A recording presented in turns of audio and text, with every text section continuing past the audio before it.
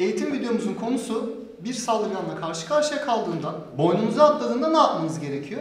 Şimdi birçok insan e, günlük hayatın içerisinde bunu görmüştür. Hani bir dövüş sırasında artık yumruklaşmanın hemen arkasından e, birbirlerinin boynuna atlayan insanlar. Peki biz böyle bir durumla karşı karşıya kalırsak ne yapmamız lazım? Şimdi sizlere onun için pratik bir teknik göstereceğim. Her zaman ama her zaman soğukkanlınızı korumanız gerekiyor. Biriyle mücadele ederken kendinizi kesinlikle kasmayacaksınız. Vücudunuzu yumuşak bırakacaksınız. Üzerinize atladığında, boynunuza atladığında yapmanız gereken ilk şey kafasının arkasına elinizi dayamanız. Eş zamanlı olarak yumruğunuzla rakibi bir şoka uğratmanız lazım.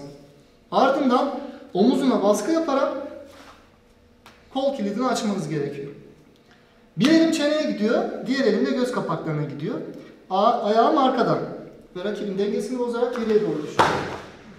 Hemen ardından kalkmasını engellemek için dizimi rakibin vücuduna dayıyorum ve rakibi etkisiz hale getiriyorum.